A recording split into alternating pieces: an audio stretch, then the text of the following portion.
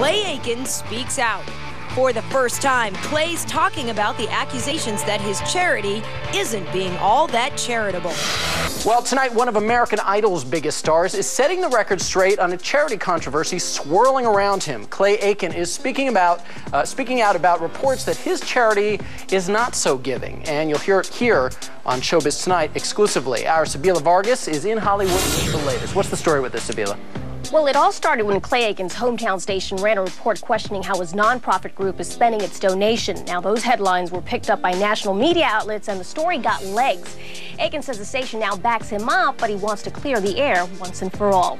I call out your name you don't hear a sound. Clay Aiken is hearing the sounds of criticism, and not for his music. Critics are saying his charity, the Bubel Aiken Foundation, which is set up to benefit children with disabilities, could be, well, more charitable.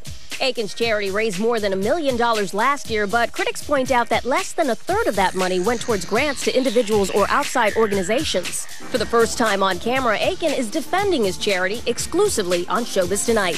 He says a distinction should be made between grants and direct services programs. We're not a grant giving organization, so that we do spend less than one third on grants is true.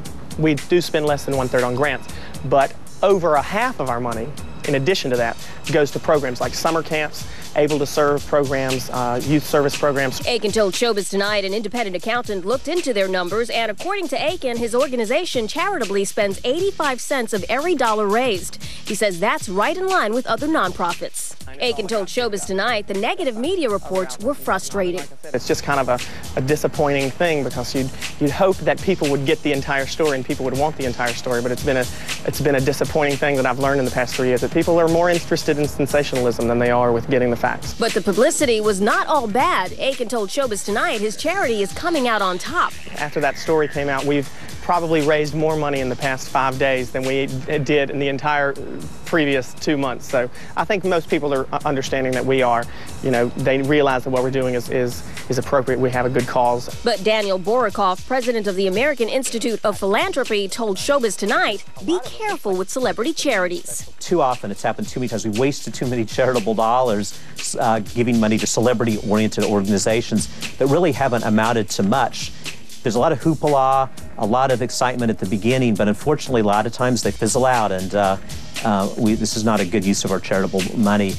Well, Americans certainly love Clay Aiken. His jukebox tour kicks off in New Jersey this Thursday. It's his fifth tour since American Idol and has him singing some 70 odd songs from five decades. Everything from Sam Cooke to Barry Manilow to the Bee Gees and the Goo Goo Dolls. His tour ends September 1st. AJ, back to you. Thanks very much, Sibila. Showbiz Tonight, Sibila Vargas live in Hollywood.